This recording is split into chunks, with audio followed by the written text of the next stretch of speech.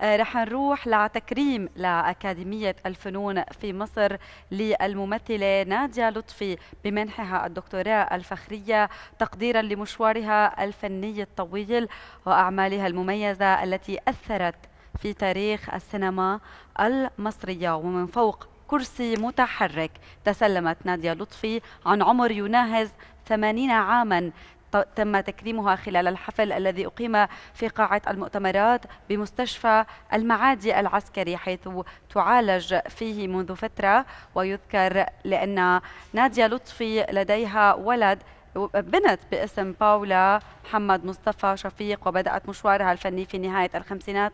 من القرن الماضي وقدمت عشرات الأفلام التي شاركها بطولتها كبار نجوم الزمن الماضي أمثال رشدي أباظة وفريد شوقي وأحمد مظهر وشكري سرحان ومحمود مرسي والمطرب عبد الحليم. يعني سالي بعد هي الجولة المنوعة على الأخبار الثقافية من سوريا والعالم. بنكون خلصنا من اليوم من جولتنا الثقافية ورح نروح سوا مشاهدينا. لفاصل قصير ونرجع لنكفي باقي محطات صباحنا غير لليوم.